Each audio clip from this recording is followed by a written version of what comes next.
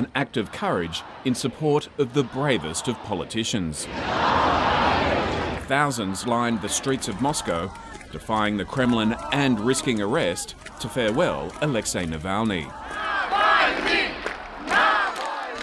They called out his name, the name that President Putin refuses to mention.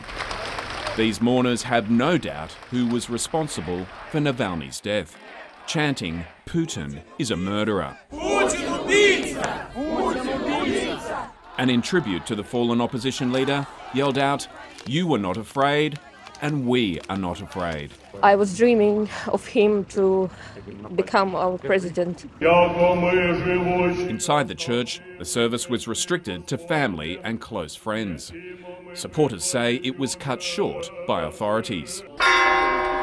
After the service, Navalny's mother, Ludmila, was hugged by mourners who said, Thank you for your son. As the coffin was taken to the hearse and then to the cemetery, flowers were thrown in tribute. Western diplomats, including Australia's ambassador to Moscow, John Geering, paid their respects. In a statement, he said, he was profoundly impacted and moved by the depth of grief shown by many thousands today at the funeral of Alexei Navalny. Alexei Navalny's wife Yulia is living in exile and could not attend the funeral.